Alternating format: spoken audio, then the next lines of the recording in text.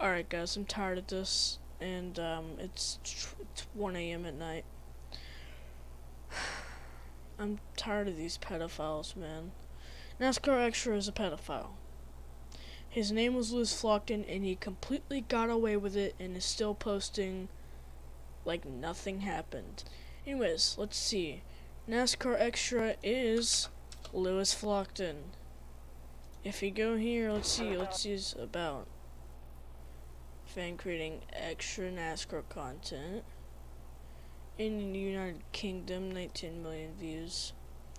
You'd think this person is, well, decent. Lewis Flockton is a very bad person. He was, she sent nudes to underage uh, males here completely got away with it after being called out.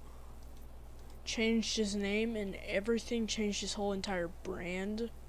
Guys, I need you to spread this because this is pretty much urgent. We need to get him off this website. Make videos about this, please. Make videos, make anything about it. Lewis Flockton is a pedophile. Sending nudes to underage kids is not okay and he needs to be he needs to be exposed about it. And I'm gonna be the person to do it. Many people have well you know done all this stuff and there's been actual whole things. And to prove that NASCAR Xtra is Lewis Flockton let's see here.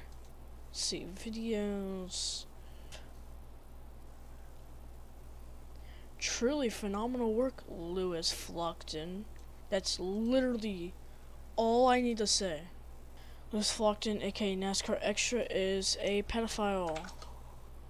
Guys, like I'm saying, please spread this around everywhere you can. I'm tired. It's 1 a.m. I'm gonna be out soon. Please, guys. Please. Make videos about it. Make anything you can to spread the word. He is a down pedophile. He should not be on a YouTube uh, platform. See you guys.